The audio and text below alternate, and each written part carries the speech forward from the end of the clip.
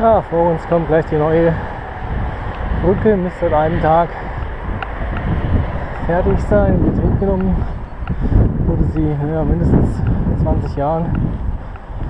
Die alte war marode, das Holz war verfault, wurde auch zerstört durch Menschen. Die neue Brücke.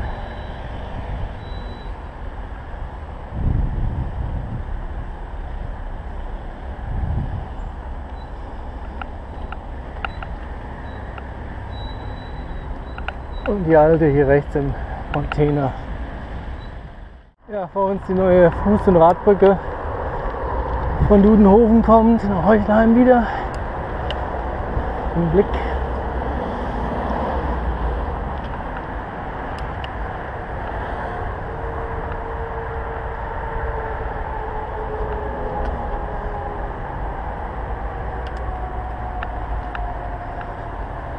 Also drüber fährt nichts Spektakuläres, aber es rollt.